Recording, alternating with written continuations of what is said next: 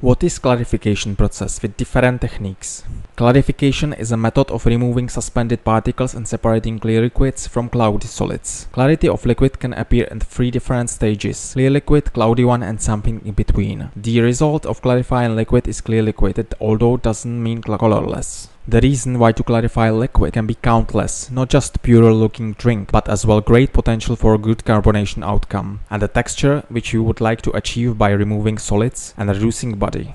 Different techniques for clarification. Before you decide which technique to use for clarification, you need to evaluate your liquid, how long it's gonna last, if it's heat stable, acidity and density of liquid.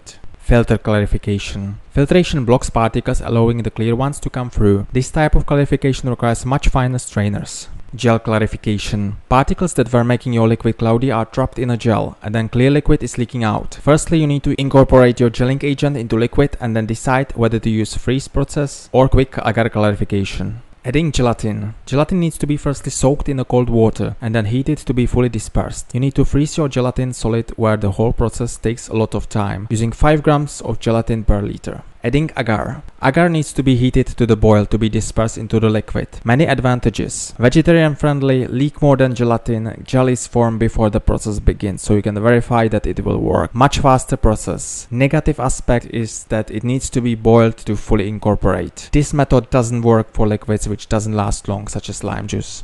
Quick agar clarification. You can incorporate agar into liquid just by whisking or blending. Freezing is not necessary. The whole process can be done in under an hour. Not as perfect as freezing method requires lots of practice. Not convenient for large quantities. Centrifuge clarification. Much quicker and effective although the most expensive option. Centrifuge spins the liquid at high speed. Egg white. Used traditionally to filter impurities from liquids. Pectin enzyme. Pectin holds fruits together and there exist enzymes which breaks down the pectin. So this method works very well for fruits and vegetables with high pectin content.